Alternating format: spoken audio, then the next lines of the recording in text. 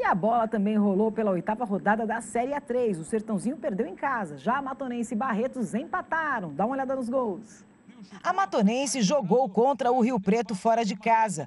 O atacante Felipe Pará abriu o placar para a Águia aos 18 minutos do primeiro tempo. O camisa 6, Gabriel Dias, empatou de pênalti para os donos da casa e decretou o resultado final em 1 a 1. O Rio Preto é o oitavo colocado, fechando o G8 com 12 pontos. A Matonense é a décima segunda com 8 pontos. Em Sertãozinho, o Touro dos Canaviais recebeu o Grêmio Prudente. O Helder abriu o placar para os visitantes num chutaço na gaveta.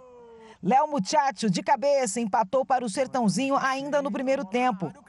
Aos 24 minutos do segundo tempo, Rodrigo colocou o Carcará na frente após chute desviado. Quatro minutos depois, o Luquinha deu números finais ao jogo, 3 a 1 Grêmio Prudente.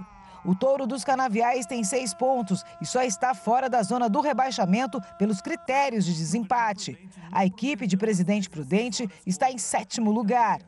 E para fechar a rodada da A3, o Barretos foi visitar o Bandeirante e o jogo teve uma chuva de gols. Tatá marcou um golaço e colocou o Bandeirante na frente.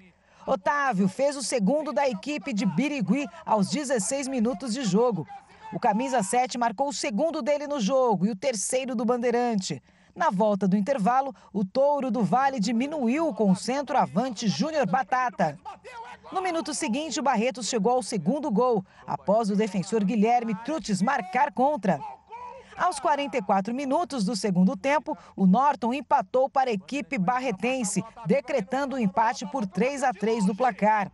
Com o resultado heróico, o Touro do Vale chegou aos sete pontos e está em 13º. O Bandeirante é o sexto colocado com 12 pontos.